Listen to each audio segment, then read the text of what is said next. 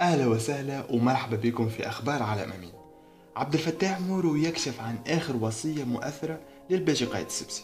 كشف الشيخ عبد الفتاح مورو في برنامج جيتو على الحوار التونسي أن آخر لقاء له مع الباجي قائد السبسي أوصى بأن يمشي وراء جنازته وشدد على ذلك كما كشف أنه التقى آخر مرة وهو في حالة غضب بقصر قرطاج حيث أكد عبد الفتاح مورو أنه سيستقيل من البرلمان لكن الباجي قائد السبسي تمسك به ونصحه بعدم المغادرة لأن تونس تحتاجه وعلى الجميع تحمل المسؤولية لآخر لحظة وخدمة هذا الوطن لآخر نفس.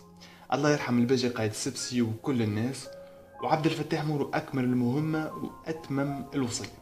شكرا لهم شخصيات ممتازة برشا وقصة باهية برشا لازم نتعلموا منها الناس الكل. وعلى الجميع خدمة هذا الوطن لآخر نفس ولآخر لمق رمق في الحياة. إلى اللقاء إن شاء الله في أخبار جديد من عالم يمين إلى اللقاء.